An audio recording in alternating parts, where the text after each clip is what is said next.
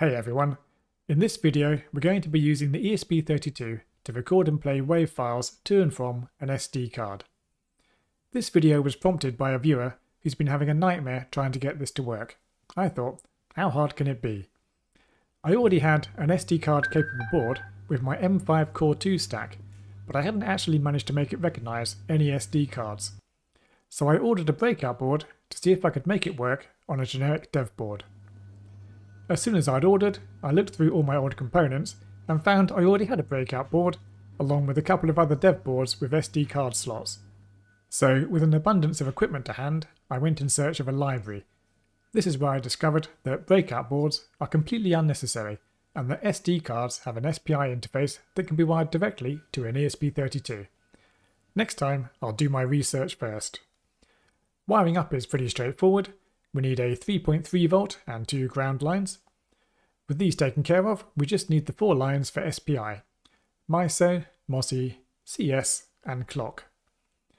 I've got quite a few of these microSD card adapters lying around, so I set the soldering iron as low as it would go and tinned up the connectors.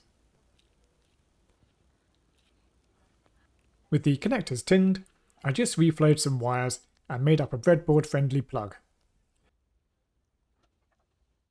There's a bit of plastic meltage, but it's not too bad. With the card wired up, I tried it on the Arduino example for reading and writing to an SD card. Depressingly, this completely failed.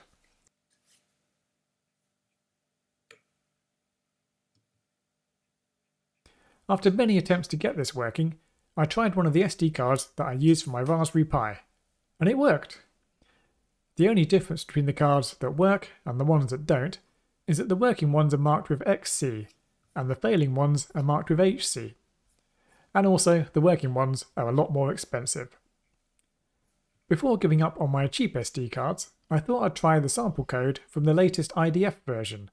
Surprisingly, it works on all the cards. With a bit of messing around, I've managed to backport the working code to the version of the IDF that Arduino comes with, and I now have it working with the Arduino framework and all the SD cards that I have. Let's see it in action.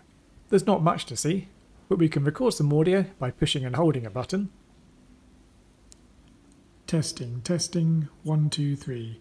This is a test of the voice memo.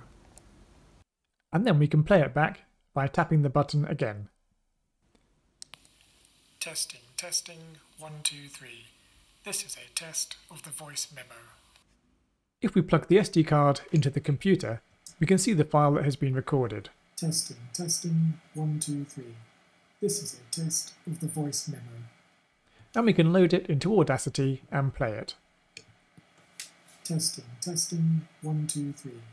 This is a test of the voice memo. There's one thing to note, the SD card should be formatted as FAT32. I believe the code also supports FAT16, but I've not tried it yet.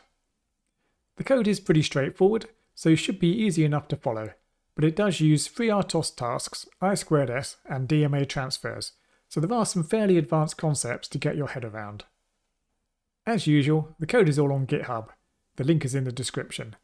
I'd be really interested to hear how you get on with it and which SD cards do and don't work.